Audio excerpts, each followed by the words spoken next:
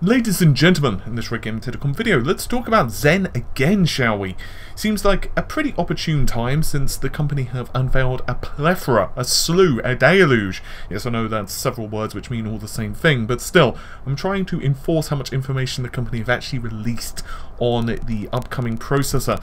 And I've got to admit, it's pretty damn impressive. Now, I just want to stress one thing. This is engineering samples so that we're seeing the performance of. And while that's really important, why that's really important rather, is because once again we're not seeing the final clock speeds or necessarily the indicative final performance of the retail silicon.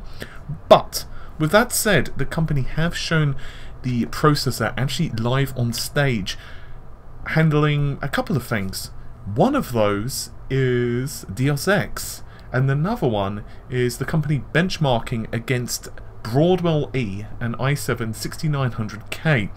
Now, they freely admit that what they did is downclock the Broadwell E to the same clock speed as Zen, down to 3 GHz, and there is a reason behind that. It's quite simply, once again, they are with, well, engineering samples. So it would be unfair for them to run the Broadwell E at a different clock speed, which is obviously running much higher because it's final retail silicon, and then for them to be on engineering silicon, which is not necessarily conducive of the final performance. Now, whether Intel and AMD are going to be on level pegging on the final retail silicon, and it's getting really lengthy for me to say final retail silicon, but um, whether they actually end up running at the same clock speeds, it's unknown. However, hopefully AMD can manage to make up that gulf. And if they can, they're onto a bit of a winner. Because if they are actually targeting Broadwell E for the desktop, for the average consumer, because obviously Broadwell E, if you start factoring in the cost of the processors, the motherboard and all of the other bits and bobs, it starts to become a lot more expensive than if you were to go out and let's say buy a 6600K or a 6700K processor. Dr. Lisa Su from AMD had one clear message that they are absolutely hitting their performance targets. And honestly, I wouldn't be surprised, and I'm putting words into their mouth here, but obviously, um, from my interpretation and from a lot of analysts, it seems that AMD are actually slightly above the 40% mark. Now, of course, this does come to an application for application by application basis. So as you can imagine, certain architectures will do slightly better in certain benchmarks, and this is whether they're most multi-core in nature or more single-threaded in nature. It's just how it is. Um, this is the same thing as even when the Athlons were taking on the Pentium 3s back in the day, or the Pentium 4s were taking on the Athlon um, 64s. It's, it's just how certain um, applications deal with certain um, certain CPU architectures. Mark Papermaster went to the stage and actually said that AMD are back. They are hitting all of their goals and that basically they're sending a message. And this message isn't necessarily for Intel. This message is for us. This message is for reviewers. This message is for you as a gamer. This message is for you as a creator, whether you're creating excellent, you know, 3D animation, or um, sculptures in Maya or ZBrush or what have you, or you're creating 4K video in Adobe Premiere or equivalent, it's to say that, hey, they are going to be presenting an alternative. Now, I don't like to take sides with a company as much as possible, simply because I like to be straight down the middle. I like to count uh, myself as neutral as possible. It's very difficult to be 100% neutral, but I'm actually really loving this news. And it's not because I hate Intel. My current rig, I've got an Intel rig and an AMD rig, and I've actually got a couple of AMD rigs and a couple of Intel rigs, actually, to be fair. And I have switched between the generations based upon the performance and money in my wallet. Quite simple. But I don't want any situation on earth where Intel or Nvidia or one company are the only game in town because as I keep saying in every video I produce, it's not good for us as customers. I'll definitely be, producing a more in-depth video over the next couple of days once more information emerges. At the moment, the events are still kind of going on through Gamescom and all of that, so it's not 100% at the moment, so I'll have to wait.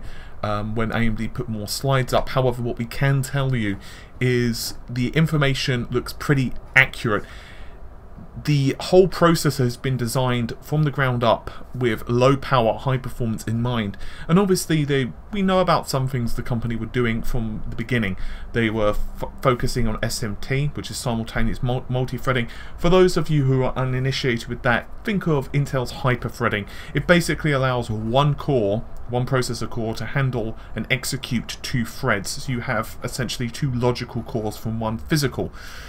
Um, and basically they've re-engineered a lot of the scheduling units um, so you've got much better prediction in what's going to happen, much lower latency in terms of the cache. Uh, we've already discussed at length just yesterday actually about the level 3 cache redesign. So you've got 8 megabytes of level 3 cache per 4 cores. The processors work as kind of like modules, and this is one thing that AMD have been enforcing a lot, whether it's the Polaris architecture or their new range of CPUs, which are obviously for the desktop um, aimed at AM4. But basically speaking, they want you to be able to, well, they want to be able to slot them together. Now, the desktop at the moment is 4 core. I'm hearing rumours of 6 core all the way up to 8. And that would be the high end one, that would be Summit Ridge but you will actually be able to see very ridiculous levels of processor numbers when you start dealing with Naples. Now Naples is a server-based processor, it's a SOC, and that is going to feature 64 threads thanks to 32 cores.